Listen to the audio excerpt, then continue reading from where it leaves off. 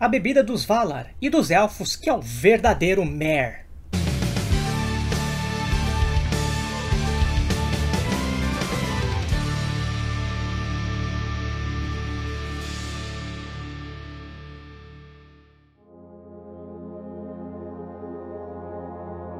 Olá, meus queridos e minhas queridas Tolkien Talkers, é isto mesmo, hoje falaremos do Mer, do Goró, dos deuses do Legendário e do Eldar. Antes de começarmos a bebedeira, já sabe como é que é, dá aquele help para nós? Clica aqui, se inscreve no canal, do lado clica no sininho, fica de olho nas notifications.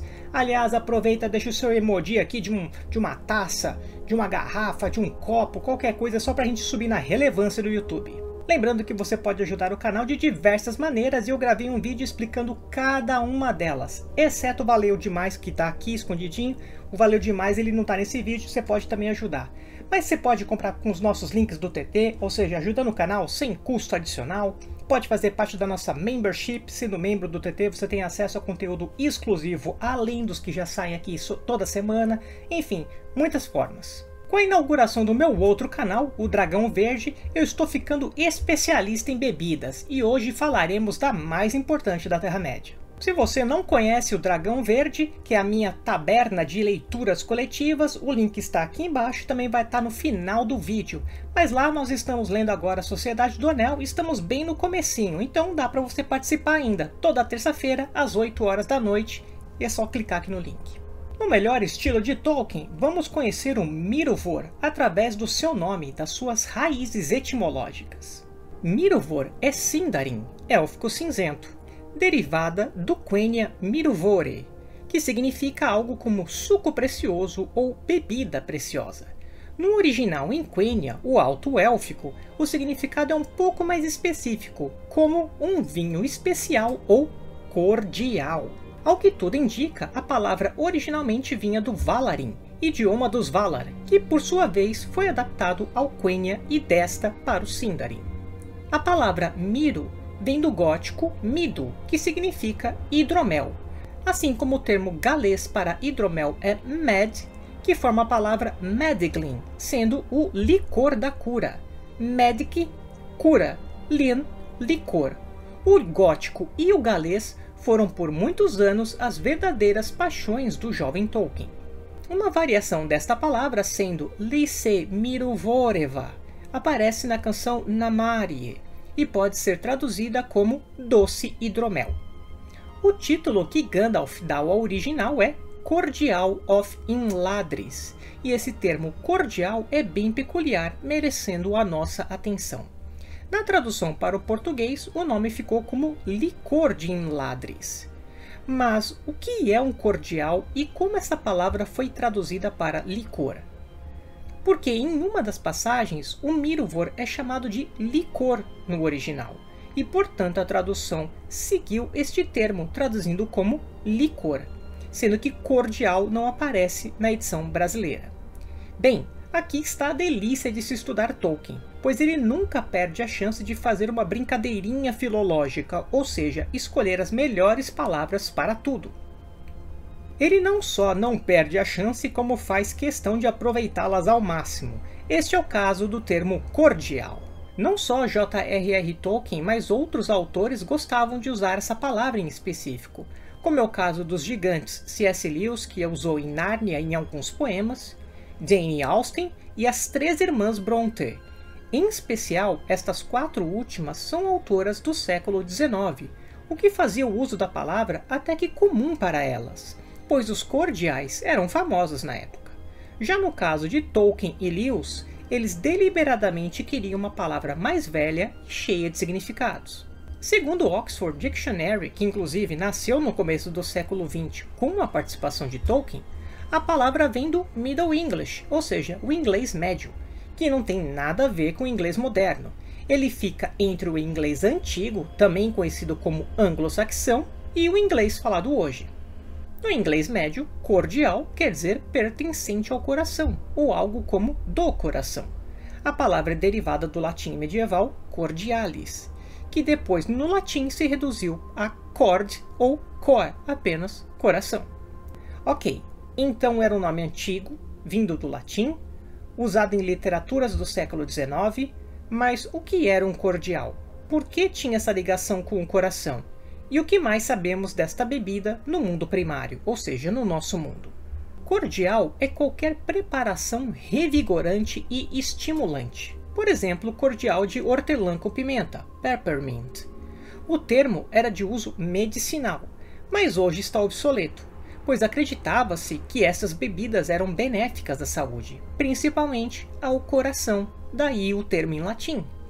Os cordiais eram misturas à base de álcool, na qual certas ervas, raízes, flores, frutas e especiarias, ou mesmo outros ingredientes, eram deixados em infusão. Às vezes eram adicionados ingredientes preciosos, até como folhas de ouro, bem como pérolas e corais. Acreditava-se que estes reavivavam o espírito e preveniam doenças.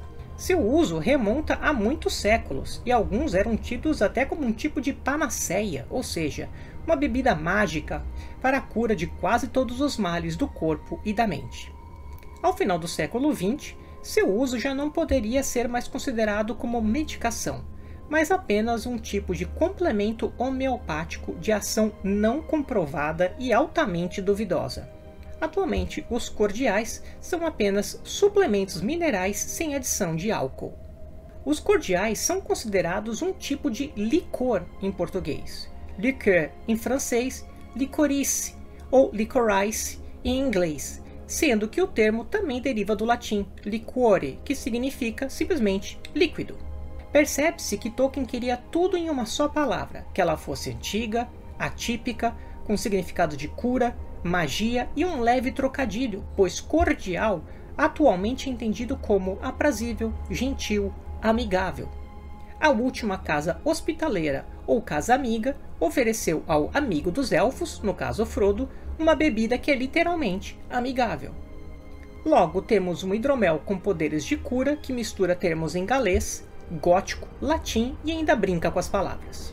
Pois é, né? Tolkien sendo Tolkien. Agora que a gente já fez uma viagem filológica pela palavra e todos as, os significados correlatos ali no galês, no gótico, no latim e tudo mais, a gente vai saber quais são as passagens do Mirovor ao longo das obras do Tolkien e o que elas significam. A primeira vez que sabemos desta bebida é no capítulo 3 do livro 2 da Sociedade do Anel. O Anel vai para o sul, isto significará a morte dos pequenos Gandalf, disse Boromir. É inútil nos sentarmos aqui até que a neve suba acima de nossas cabeças. Precisamos fazer algo para nos salvarmos.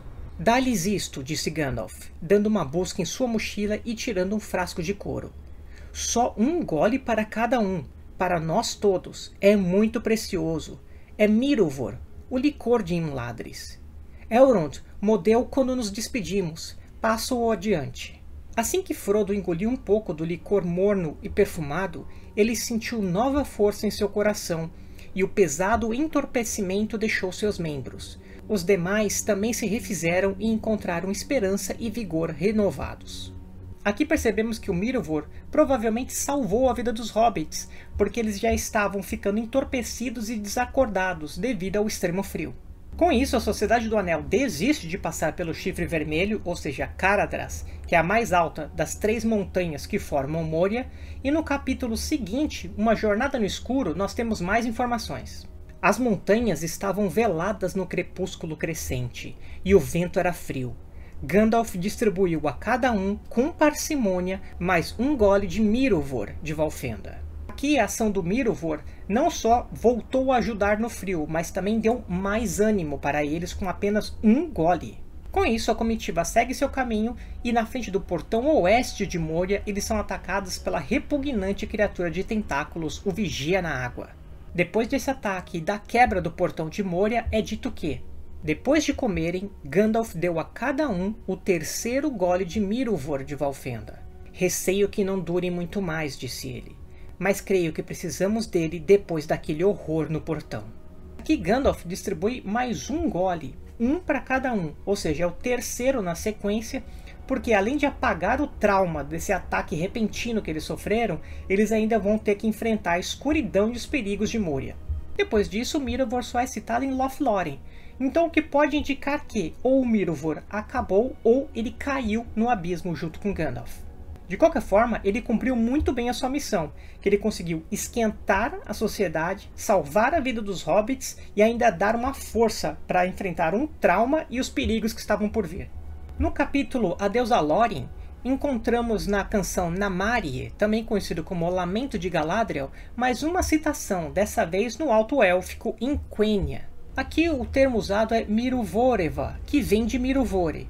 E no livro The Road Goes Ever On, Tolkien explica que, de acordo com Zeldar, Miruvore é uma palavra derivada da língua dos Valar, o nome que davam à bebida servida em suas festas. Sobre sua fabricação e o significado de seu nome, eles não sabiam ao certo, mas os Eldar acreditavam que era feito de mel das flores imortais dos jardins de Yavanna, embora fosse claro e translúcido. Felizmente, esse livro foi reimpresso depois de 20 anos fora da prateleira, saiu recentemente e a Inesita já tem ele já fez a resenha. Então não deixem de conferir, porque tem muita coisa boa da Terra-média. Esse livro é do Legendário e é canônico, porque o Tolkien estava vivo e participou de toda a publicação. Escrevendo aqui o que, que queria dizer o élfico, detalhes sobre filologia, um espetáculo. Sim, acredito que a edição brasileira não deva demorar Afinal, é um livro da Terra-média, foi relançado lá fora, temos todos os motivos para acreditar que ele deva chegar logo aqui. Nessa definição que o Tolkien dá no The Road Goes Ever On, indica que ele é de fato um tipo de hidromel, né? E o de Valfenda aparenta ser alguma coisa como uma releitura, algo à semelhança do Mirovore dos Valar. Agora trago para vocês cinco curiosidades. A primeira delas é sobre Gildor Inglorion. Quando os hobbits, cheios de medo, porque eles estavam sendo perseguidos pelos Cavaleiros Negros, encontram a companhia de elfos de Valfenda liderados por Gildor Inglorion, ele dá uma bebida para eles. E essa bebida tem umas características muito semelhantes ao Mirovor. É descrito que Pippin esvaziou uma taça repleta de uma bebida perfumada fresca como uma fonte límpida, dourada como uma tarde de verão. Essa passagem é complementada por um trecho um pouco mais para frente, que é no dia seguinte, quando os elfos foram embora e os hobbits estão seguindo o caminho sozinhos.